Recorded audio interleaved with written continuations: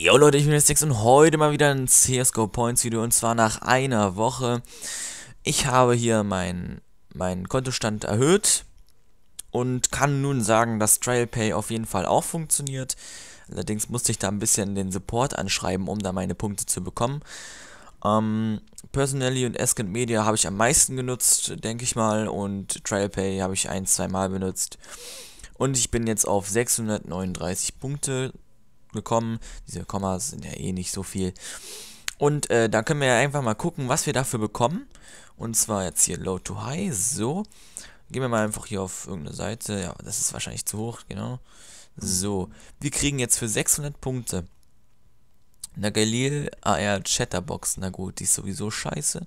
Aber wir kriegen schon eine Dragon King in Minimal und wir kriegen eine SG Cyrex als Factory New Condition. Ja. Das ist ja schon mal nicht schlecht. Oder ein Tiger Moth äh, als Minimalware. Ja? Alles coole Skins. Oder hier eine Roll Cage.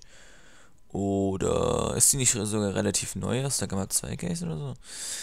Eine Aristokrat. Naja, Battlescard Skins würde ich sowieso nie empfehlen. Aber man kommt ja auf jeden Fall schon ein bisschen weiter mit 639 Punkten. Wie gesagt, alles nach einer Woche. Ich muss sagen, es war nicht hintereinander weg immer so, dass ich jeden Tag irgendwie ähm, 100 Punkte gemacht hatte oder so, sondern einfach, dass ich, glaube ich, an einem Tag richtig viel gemacht habe. An einem Tag habe ich sogar nur 40, also 0,4 gemacht. Äh, und ja, es war nicht jeden Tag ertragreich. Ich ähm, sag nur, dass Trial Pay auf jeden Fall funktioniert. Adgate Rewards mache ich fast nie und Peanut Labs. Mh, hm, naja, findet man auch nicht immer was. Wir können mal kurz ins Leaderboard gucken, denn da bin ich jetzt auch vertreten. Ähm, genau, hier auf dem 64. Platz sogar mit 639,8 Punkten. Wie gesagt, ein, ein Punkt ist 1 Cent, das heißt, ich hätte jetzt äh, 6,40 Euro so ungefähr. Und wir gucken mal bei meinem Account, was mit der Fallout Warning ist. Die kann ich jetzt nämlich redeemen. So, dann warten wir kurz. Ah ja, perfekt. So, den kann ich jetzt adden, wenn ich mich angemeldet habe. Uno momento.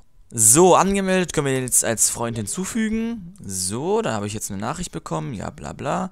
Ich kann ihm jetzt eine Handelsanfrage schicken. Er nimmt sie sofort an und wird meinen Skin jetzt hier in dieses Kackding platzieren, in dieses Straight-Offer-Teil. Hier ist es schon. Die Fallout Running in Minimalware. Bereits im Handel. Zack. Jetzt sagt er, er wird es gleich confirmen. Und der Handel ist abgeschlossen.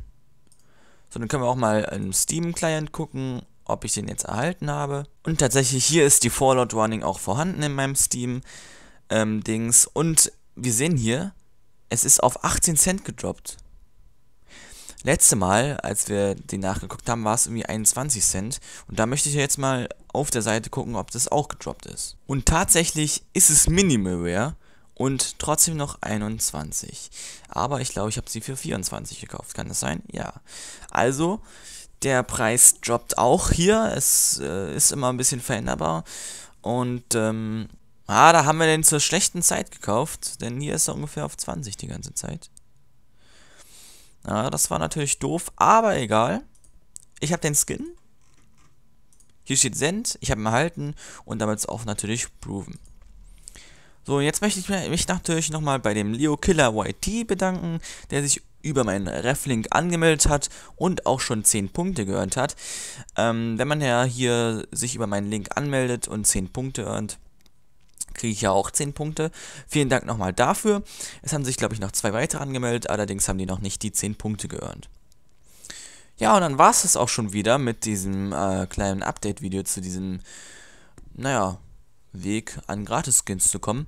Ich weiß nicht, ob ich das wöchentlich machen soll, weil ich jetzt, naja, weiß ich nicht, ob ich da so aktiv weitermachen kann, wenn keine Ferien sind. Ähm, beziehungsweise wenn Ferien sind und ich nicht da bin. Aber wir sagen mal so, es kommen auf jeden Fall, es wird wahrscheinlich demnächst mal wieder ein Update geben. Vielleicht nicht in einer Woche oder so. Ähm, heute ist übrigens Mittwoch und das Video kommt dann Donnerstag. Äh, ich nehme es natürlich nach einer Woche auf und das heißt, es kann nicht nach einer Woche kommen. Also, das nächste Update-Video wird kommen, wenn es mal wieder was Neues gibt oder was weiß ich was, wenn ich einfach mal denke, dass es wieder Zeit ist für so ein Video. Also, bis zum nächsten Mal, Leute. Haut rein. Tschüss.